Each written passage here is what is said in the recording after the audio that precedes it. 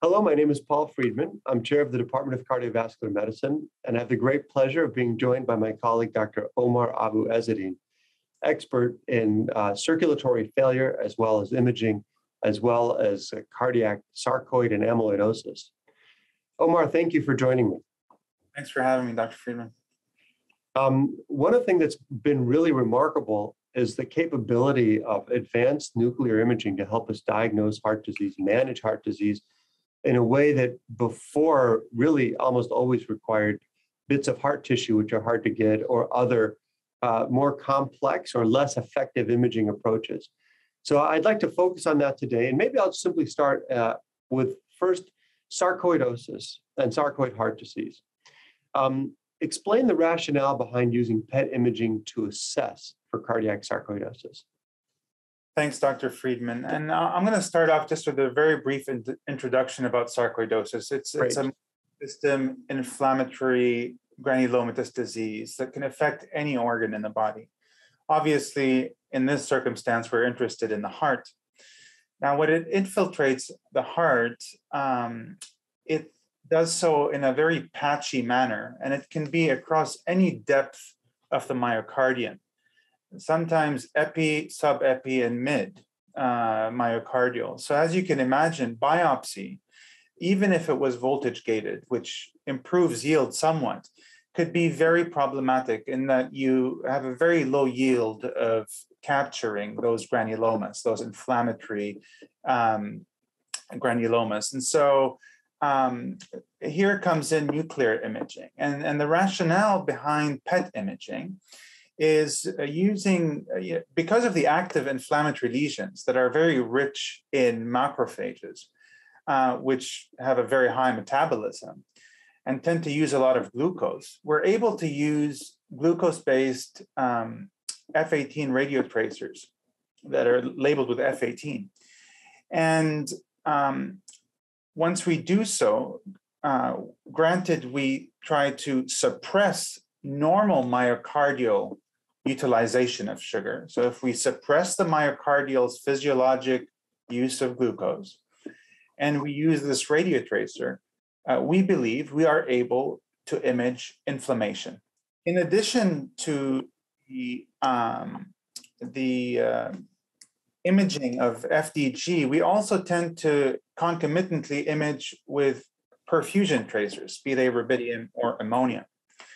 Um, and the reason behind that is we believe when there's inflammation, when there's these non-caseating granulomas, you have microvascular inflammation and edema that causes concomitant hypoperfusion. So now you're imaging with an inflammatory radiotracer and a perfusion radiotracer. And if you see that you have uh, an increase in the inflammatory signal and a decrease in the perfusion signal, we believe that reflect inflammation of the myocardium, particularly if it's in a non coronary distribution.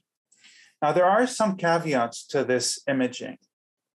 Um, hibernating myocardium could also show us a similar um, uh, presentation. It should, could also show us similar findings on PET imaging with perfusion abnormalities and high FDG uh, uptake. And so it's very important that we rule out all the common things such as coronary artery disease before we go on and look for uh, sarcoid. Again, sarcoid tends to be in a non-coronary distribution, but still uh, one of the limitations of the study is that you need to, or not limitations, but one of the caveats is you need to have ruled out coronary disease. And then the other thing is, like I said, the myocardium normally uses sugar, normally you use glucose physiologically. And so to really capture uh, inflammation, if you want, you need to suppress that physiologic uptake. And to do so, there's a few ways that have been uh, established.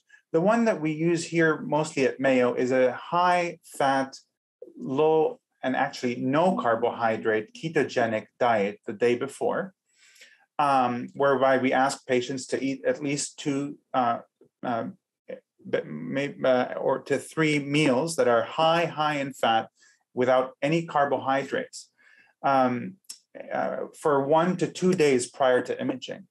and not to exercise whatsoever, because exercising would promote uh, myocardial glucose uh, utilization. And so, with this prep, we have found very good myocardial uh, physiologic suppression of glucose activity, which really um, increases, if you want, the specificity of the FDG signal for inflammation. So, to summarize, we, we ask the patients to prepare the diet, which is extremely important to minimize false positives. We image with an F18 glucose uh, radiotracer and a perfusion radiotracer. And when you have uh, mismatch or hypoperfusion and increased FDG signal in a non-coronary distribution, that's rather specific for inflammation. No, thank you. Uh, um, really excellent explanation. Now, um, you and I really have talked in the past about when to suspect cardiac sarcoid, but I feel any conversation about it is incomplete because my next question will be Is extracardiac or whole body imaging necessary to establish a diagnosis? But before you jump into that, maybe just very briefly to remind people when do you think about it? When are you worried about cardiac sarcoid? So cardiac sarcoid obviously is we need to remember uh, it still remains a rare diagnosis uh, despite our increased um, uh, diagnostic capabilities in the current era.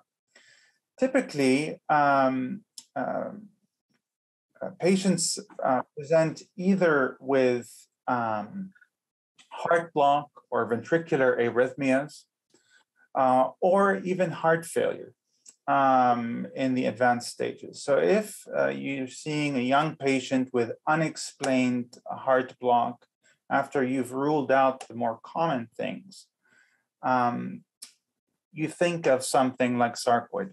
If they present with ventricular arrhythmias, if they present with a non-ischemic cardiomyopathy, these are all reasons to think of cardiac sarcoid, particularly in patients who have an autoimmune predisposition. So if they have other autoimmune diseases in themselves and in the family, as well as an environmental exposure. So we believe that um, a respiratory exposure triggers this reaction in someone who is predisposed to it. But we always need to remember it's a diagnosis of exclusion. So you really need to think of all the more common things, exclude them before diving into a workup for sarcoid. Sure. And now that we're diving in, do you need um, the whole body imaging? Um, we find it extremely useful as a first step in the diagnosis. So we don't think you need to always do whole body imaging, but if you are considering the diagnosis, it's rather important to see if you have extracardiac disease. Because if you have extracardiac foci of increased FDG avidity or increased glucose uptake, uh, particularly with um, um, uh, the you know mediastinal uh, adenopathy, hilar adenopathy, uh, liver involvement, spleen involvement, uh, inguinal lymph node involvement. Um, that really offers us a um, uh, a target for biopsy because as we've I've shared earlier, it's very hard to very rare, you know, uh, to target or to be able to capture the granulomas when you do an endomyocardial biopsy. So it's much easier if you find an extra cardiac source to go after that. And once you have that patho- you know, um, uh, pathology, um, then in combination with the cardiac presentation and cardiac imaging, which have made their PET imaging, which has made its way into these diagnostic criteria, uh, for example, the HRS uh, diagnostic criteria, then that really increases our confidence in this diagnosis because it's a diagnosis that we need to make sure is accurate. I mean, we are we're um, you know uh, it's basically a uh, immunosuppression, transplant level immunosuppression for some very young patients. So it's not without uh, risk. And so um, you really need to make sure that you have all the things that you know you know as many things as you can that support this diagnosis including extracardiac tissue no that makes a lot of sense now um, as, as striking as many of the advances in nuclear cardiology are of course mr has demonstrated remarkable capabilities for imaging all parts of the body including the heart now um, how would you compare the two? When would you get one versus the other? And is there a role for hybrid imaging? Yeah, uh, excellent question. I think MRI is brilliant. It's a great modality, which we're increasingly using in uh, cardiomyopathies because it gives us a very nice um, assessment of myocardial morphology, function, even valvular disease. Uh, and it gives us information on um, whether there's late gadolinium enhancement, which suggests some form of fibrosis scar, uh, or even inflammation can also present that way.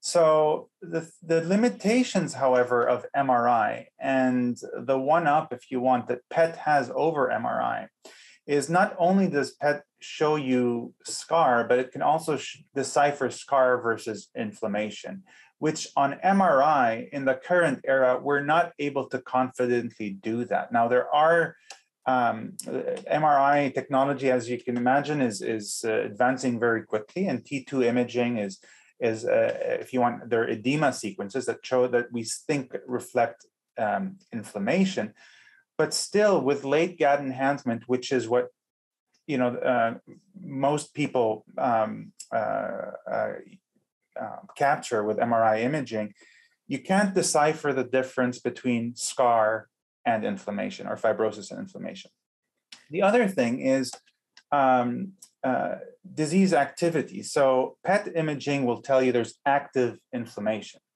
PET, PET imaging will allow you to quantify this inflammation, which MRI doesn't necessarily do so.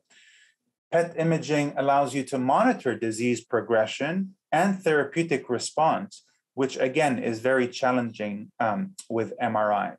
As we talked about, PET imaging of the whole body shows you extracardiac um, um, uh, extra cardiac um, uh, involvement. Uh, and also, it offers prognostic involve, uh, uh, data, which uh, one would argue MRI does as well.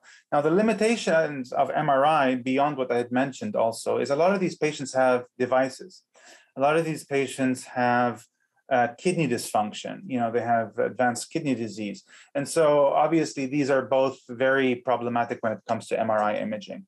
So uh, to summarize, I, I, do believe that PET imaging, um, particularly in the diagnosis and therapeutic response of sarcoid, is superior to MRI. Now, all that being said, I think the future is going to be a future of hybrid imaging where you have PET MRI hybrid imaging, and we're already seeing that now. Though there are some limitations when it comes to the magnet and when it comes to um, uh, you know, uh, uh, respiratory artifacts and, and things like this, and gating difficulties, obviously, with MRI.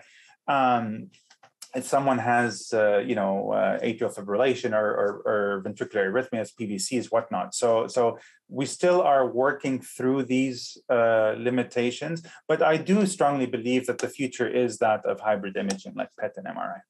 Yeah, and I'll, I'll just you touch on an important issue, and that is patients with implanted devices. And as you're aware, I think it's just worth mentioning for our, our listeners that um, they cause artifact, although wideband filtering may mitigate that artifact. But, um, and some most currently manufactured devices are MRI conditional, meaning they can undergo imaging with FDA approval under certain pre-specified conditions, typically a 1.5 Tesla magnet and other sorts of things.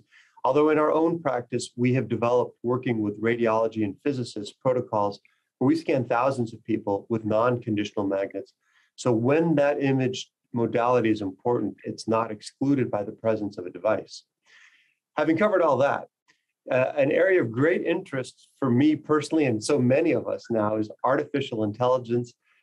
Uh, and as, as you know, um, many of us have done a lot of work using convolutional neural networks to identify patterns in the data that may be able to see things that are subtle that humans have a hard time finding sometimes. Do you see there's a role for that now with PET imaging? Absolutely. I, I do believe that uh, strongly. The only limitation, I think, um, is the difficulty with, uh, you know, uh, the, the diagnosis being 100% proven that this is sarcoid. You know, it's not like uh, in amyloid or in uh, hypertrophic cardiomyopathy or systolic dysfunction. You have uh, you know, a zero one, definitely have a diagnosis or you don't. There is a gray area in uh, the diagnosis of cardiac sarcoidosis, where we we believe it is, but we're not, you know, so that may limit the neural network a bit.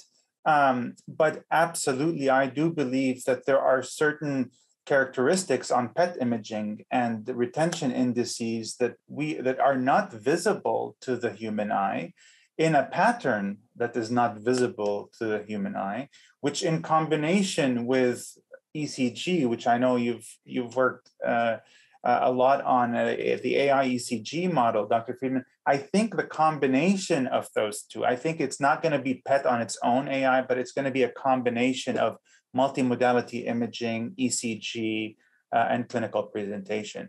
But absolutely, I think that there is a role, and we haven't scratched the surface yet of. AI. I, I, think it's very, I agree with you. I think it's very exciting. As with any test, we have to test it, vet it, validate it. I was struck by some findings in radiology where they've developed an AI tool that identifies early pancreatic cancers that are missed by nearly all radiologists with a high specificity. But again, all these things have to be tested prospectively. But it, it is an exciting uh, time. Yeah. Well, uh, Omar, thank you so much. Absolutely fascinating space. It's so important, and we look forward to continued advance in the field. Thank you for taking the time to discuss it with me today. Thanks, Dr. Friedman. A pleasure being with you.